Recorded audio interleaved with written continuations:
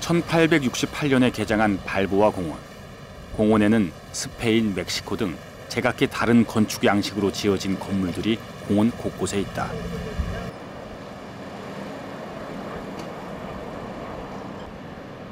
이곳에는 동물원, 미술관을 비롯하여 13개의 세계적 수준의 박물관이 있다.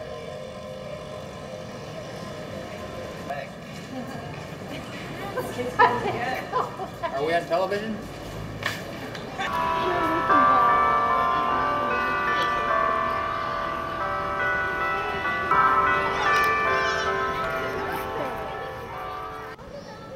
공원에는 만여 그루 이상의 나무들과 예쁜 연못들이 있어 이곳을 찾는 사람들에게 즐거움을 준다.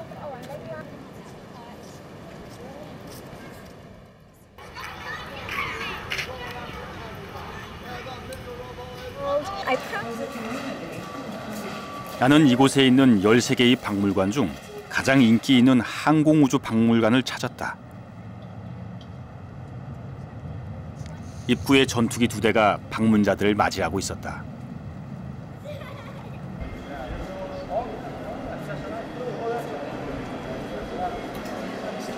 샌디에고는 전통적으로 항공 산업에 관심이 높은 지역이다.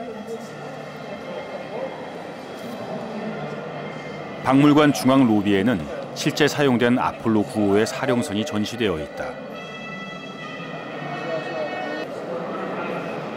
세 명의 우주인이 탑승하고 1969년 3월 발사되어 지구를 152회 돌고 귀환한 우주선이다.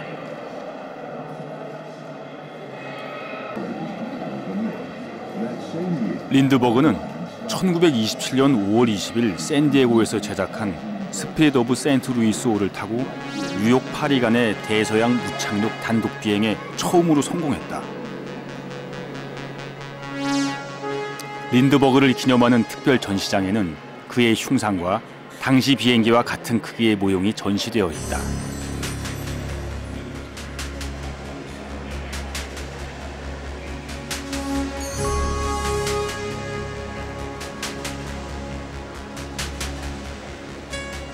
옆 전시관에는 천재 발명가 레오날도 다빈치의 뛰어난 업적을 기리는 전시회가 열리고 있었다.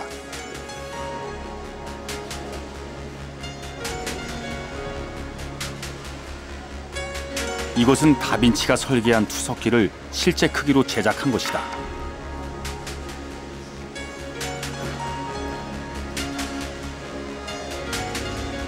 이곳에 만든 모형들은 관람객들이 직접 체험해 볼 수도 있다.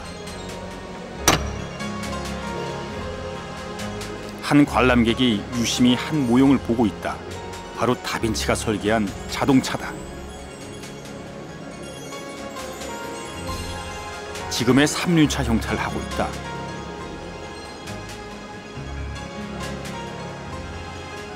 그 외에도 다빈치는 비행기구, 낙하산 등 많은 것들을 설계했다.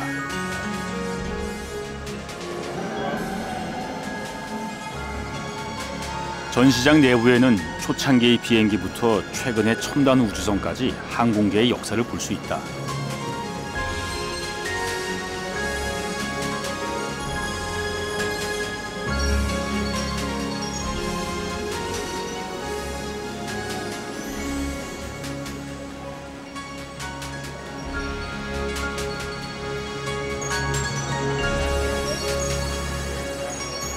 전시장 한쪽에는 비행 시뮬레이터가 있다.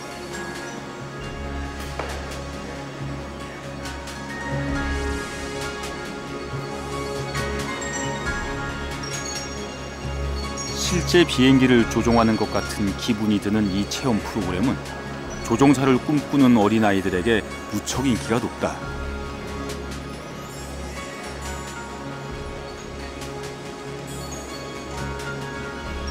We both played the video game, and you get to really fly the plane. But Yeah, and I you know- crashed into the dell. But you know what I did? I didn't crash. I landed safely.